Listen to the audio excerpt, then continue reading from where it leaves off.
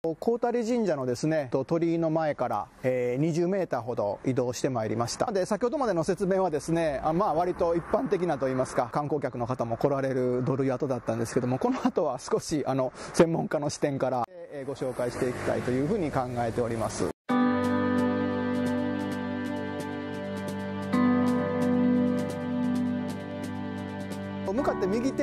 ですね。見ていただきたいんですけれどもコンクリートの道が、えー、しかもなんか低いところを通ってる様子が見えると思うんですけれどもその東側の堀に当たります。あのこの堀につきましてはですねあの江戸時代の絵図とか近代になってからのですねあの地形図なんかでも、まあ、ここに水路があったことが、えー、書かれております。でこの水路はですねこちらの方にこのカーブしてる道をあの上がっていくわけなんですけどもどうもこの道本体かその道の東側にですねこの水路の延長線上があったというふうに考えられております。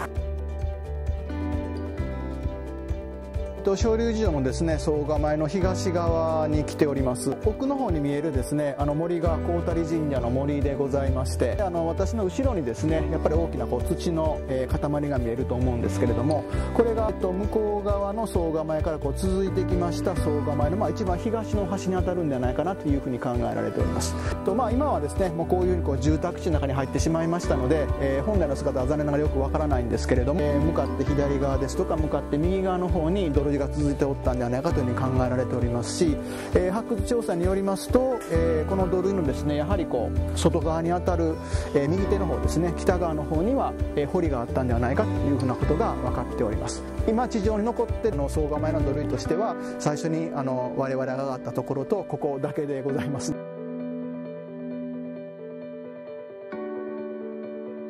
と、高谷神社の北側の公園のところに参りました。えっと、後ろに見えているの森がですね、あの、高谷神社の森ということになります。昇龍寺城はですね、北側をこう、囲う総構が、えー、あるというお話をいたしました。実はですね、あの、昇龍寺城の北側の総構えは二重になっているということでございます。例えば、その、江戸時代の、えー、絵図なんかでもですね、1本、2本、2本あったということが分かっておりますし、細川家が作った絵図にもそのように書いてあります。私が今立ってるところはその北側の土塁の跡地ということになります。左右を見渡していただいてもですね土塁の跡は全く残っておりませんので、えー、もうあのその後の開発によりましてですねこう土塁はもう完全にこうなくなってしまったんですけれども、えー、この場所に、まあ、おそらく南側と同じぐらいか土塁があってそして万が一その北側の総構えを突破されたとしてももう一つ南側に総構えがあることによって、えー、もう一回その敵型の攻撃を、まあ、防ぐですねそういうチャンススがあると。まあ、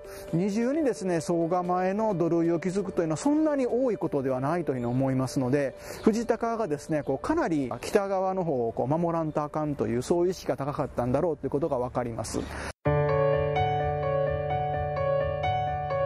の JR の長岡京の駅の辺りからずっと平たい、えー、平地が続いてきております。そしてここの辺りがその一番平地の先端で実はこの後ですね昇龍寺の方に向かって、まあ、本来の地形がだんだんこう落ち込んでいってるわけですね。でその落ち込んだ先に、えー、昇龍寺城というお城がありますので、えー、お城の位置は実はあの少し低いところにあるんですね。そこでなんとかがのお城の方には敵を攻め込ませないために一重二重のですねこう総構えをこう築くことによってあの防衛をしようとしたんだろうということが分かっております。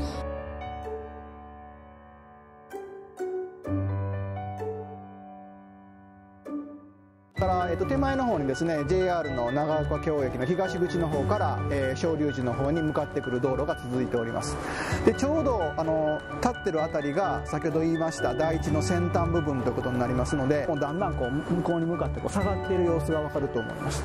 であの信号がある辺りまで行くと、まあ、かなり、えー、低い土地になるということになりますのでそのあの右手の奥の方に、えー、昇龍寺の本体があります。先ほど登っていたあの土塁の一番高いところの北側の方に降りてきました。本来はですねこの西側の南北方向の土塁はもう少しですねこう北の方に向かって伸びていたはずです、まあ、これがどこまで伸びてたかは残念ながらよくわからないんですけれども、えー、その後さまざまな開発でここでこう立ち返られてしまった。で、えーと、ここを整備される際にですねあの長岡教師の方で、えー、この土塁をこう立ち割ってあの発掘調査をされました。この土塁のですね、えー、このタイルの面にどういうふうな形形でですねこう土塁が盛られていったかっていうことを、まあ、模式図的にといいますかあの示す、まあ、そういう工夫をされてるということになります。あのちょっと焦げ茶色ですとか茶色の色の濃い部分の山が一つあるかなという思うんですけどあの山がまず最初に作られてだんだんとその土塁を大きくしていったという様子がわかるかと思います。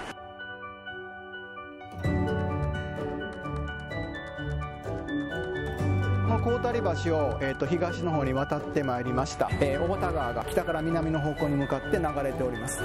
で今はですねあの西側にも、えー、東側にも立派なあの堤防ができておりますが前の戦国時代は、まあ、こんなに立派な堤防はなかったというふうに思われます。ただ一方でおそらく川の水量はですねあの今とは違ってもう少し多かったんじゃないかなというふうに思うんですが城下全体をですねこう魔物総構えとしてのこう機能もこの小畑川があったんじゃないかというふうにも言えるかと思います。